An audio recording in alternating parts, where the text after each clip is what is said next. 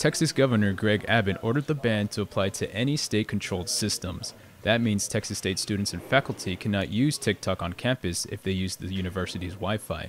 Some students say they're confused and don't understand why the policy was implemented in the first place. I think it's weird because we're all above, most of us are at least 18 and up, which I think it's odd to try to mitigate what content that adults are using.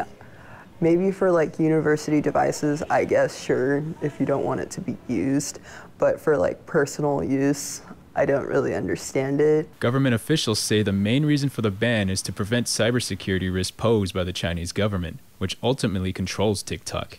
Freshman Charlize Garza says she believes the ban is unnecessary. For the most part, nobody even really posts anything that would expose, like, especially not um, college students posting things that would expose the U.S. government or stuff like that. Like, it's really not that big of a concern for them to be banning it. More universities are implementing the TikTok ban across the U.S. The TikTok CEO plans to testify in front of the U.S. Congress this coming March. With Bobcat Update, I'm Juan Mora.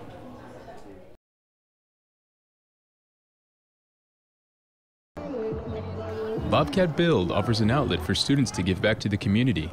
Volunteers help San Marcos residents enhance their home values. The turnout for this year's Bobcat Build was noticeably higher than previous years. I think it's very interesting that so many Texas State students are willing to come out here on a Saturday morning and give back to the community. Um, so we have just so many groups. We even have individual people who sign up and then we send them the day of to a specific site.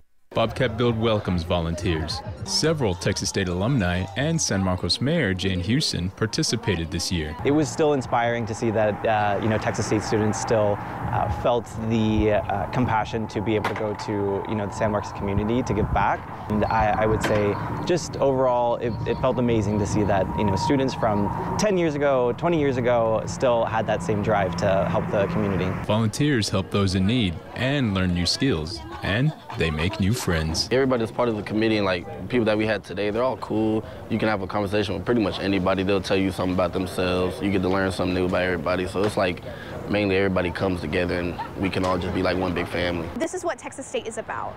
We help each other and we have a lot of differences and yet we come together in such an amazing way, bringing so many different people from different clubs, different friend groups, just so we can accomplish and have an amazing day helping out other people in this community. With plenty of hardware and lots of eager volunteers, Bobcat Build aims to bring the San Marcos community closer together, one property at a time. For Bobcat Update, I'm Juan Mora.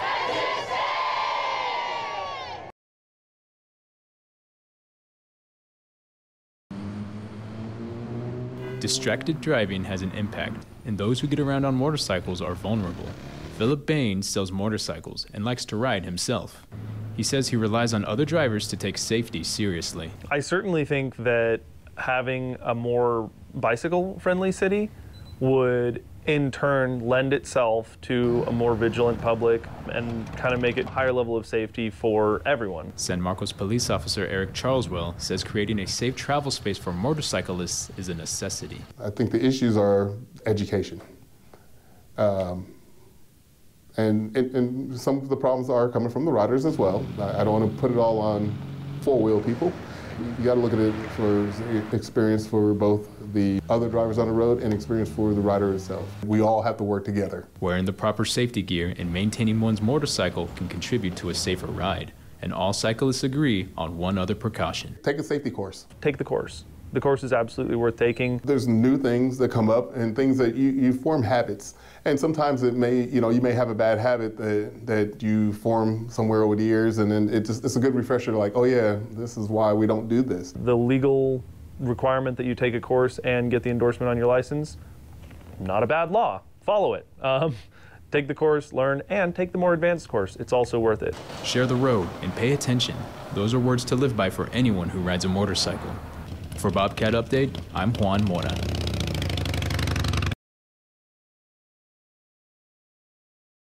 trading card games, there's just so many different aspects that you can appreciate for them. The camaraderie, the friends that you can make, it's just fun to collect. It's one of the biggest things that's a problem is people enjoy playing Magic or Pokemon or any of those given games and they don't show up for tournaments because they feel like they're not as good as the other players. Competitive in the wrong environment can destroy the player base. And there's definitely no casual without competitive, but there's no competitive without the casual. There are people, their intent is to min-max buying and selling cards like stocks. It's something that the parents enjoy the kids buying, you know, that they, they get a kick out of it. Just being able to build a deck and, and kind of have a mechanic expressed properly is, is where I get my most enjoyment out of it.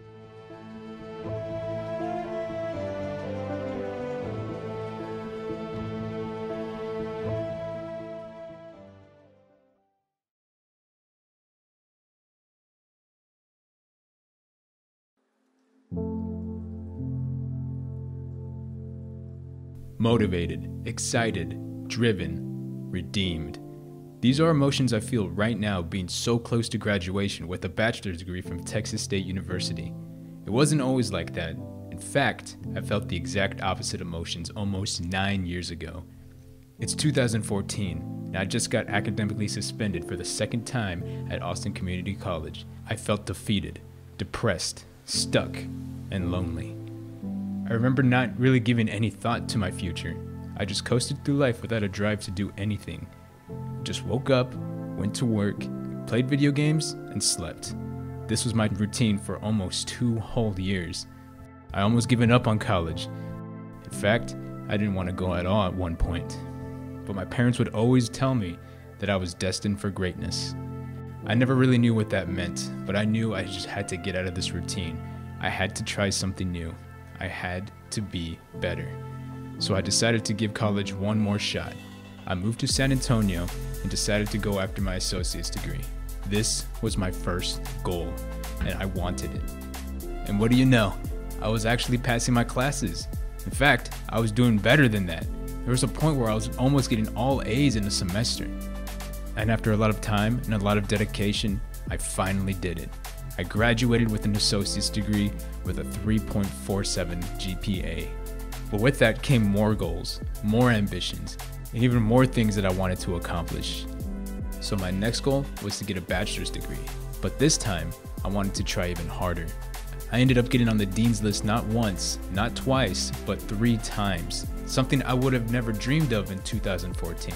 But here I am now, almost ready to graduate and working the job that I love to death. My story isn't about the importance of college, but the importance of having goals. And if you want to reach those goals, then you need to keep moving forward.